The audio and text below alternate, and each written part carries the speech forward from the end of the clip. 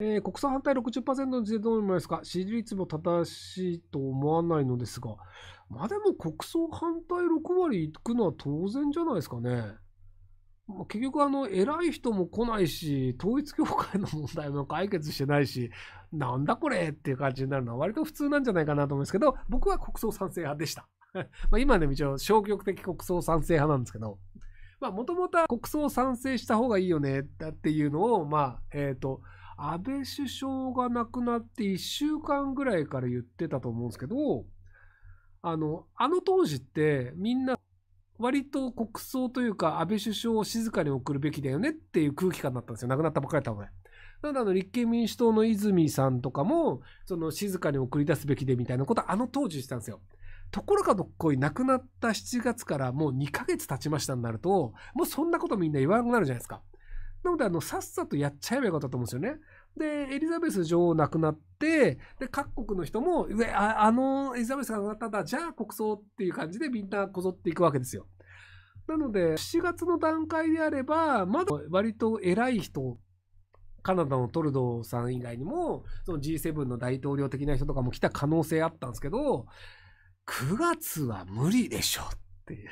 要はあの、国連総会が9月の20から26ぐらいまであるんですよね。なので、あの、国連総会に出てたら、日本行ってらんないんですよ。じゃあ、国連キャンセルしていくほどの価値があるかっていうと、いやいや、それ無理でしょっていう。で、そのアメリカとかって、割とその9月から仕組みが変わったりとか、まあ大学とかもあの9月から始まったりとかっていうのもあったりするので、その9月ってバタバタしてる時期なんですよ。で、逆にあの夏休み、7月とかって、まあフランスもあの夏休みバカンスだったりっていう感じで結構時間があるんですよね。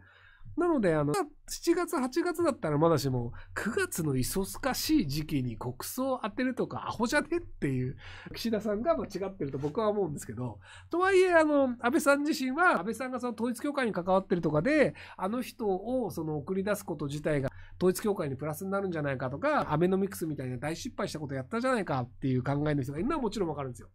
ただまあ僕は統一教会は潰すべきだけど安倍首相の国葬賛成派なのは、統一教会が潰れれば別にその安倍首相が統一教会と関わってたというのを利用して、統一教会の信者を増やすみたいなことできないじゃないですか。だってもう潰れてるんだもんみたいな。ただあの他のその総理大臣とか首相とかって国葬じゃないのになんで安倍首相だけ国葬なのっていうのは僕は暗殺されたからだと思ってます。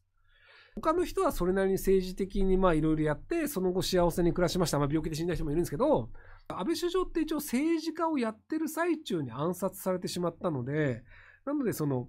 僕はアベノミクスのせいで日本が悪くなってるよねっていうのは、まあ、あの、断るたびに言ってるんですけど、とはいえその安倍さんってアベノミクスは日本のためになると思ってやってたと思うんですよね。まあ、頭が悪い人なのでしょうがないと思うんですけど、ただまあ、頭が悪い人が頭が悪いなりに、アベノミクスが日本社会にとっていいのだと思ってやって、まあ、結果として日本経済ボロボロになって、今円安のもアベノミクスのせいなんですけど、とはいえ、一応日本のことを思ってやってたと思うんですよ。で、えっと、結果は良くなかったんですけど、ただ少なくとも日本のためをもって長期間政治家として頑張って、で、最後やっぱ富豪の死を遂げたというのであれば、それは今まで頑張ってくれてありがとうっていうのを僕は言った方がいいんじゃないかなという派閥です。はい。